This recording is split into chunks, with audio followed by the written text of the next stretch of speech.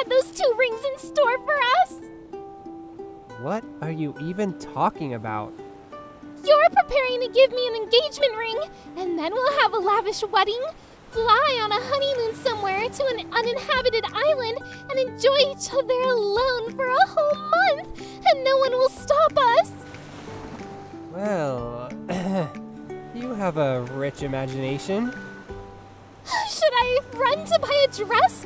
I already chose this dress for myself a few months ago. It's waiting in the wings. Wait, where